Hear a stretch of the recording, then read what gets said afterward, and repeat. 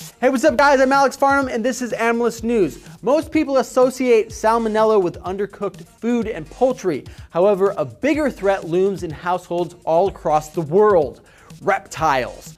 While snakes and turtles may look friendly, an estimated 90% of all reptiles carry salmonella bacteria as an intestinal infection. These microbes are then spread throughout their habitats where nearly 70,000 Americans acquire a salmonella infection each year. In 2003, the Center for Disease Control found that only five American states required pet stores to provide information about salmonella to customers. Since then, turtles with shells smaller than four inches have been blamed for numerous outbreaks due to the fact that they are more commonly adopted than larger turtles and carry six types of salmonella.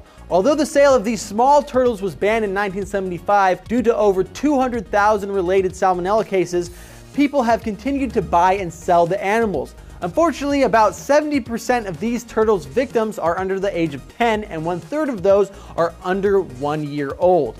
Because of their severe vulnerability to bacterial infections, the CDC urges families with young children to stay away from reptiles. Salmonella infections can be spread throughout feces, saliva, or just by simply touching the infected surface.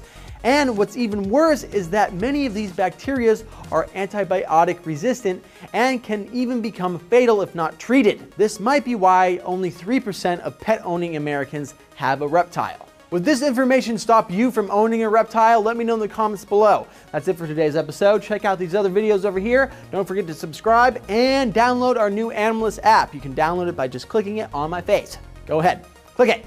Ouch. I'll see you here in Mammals later.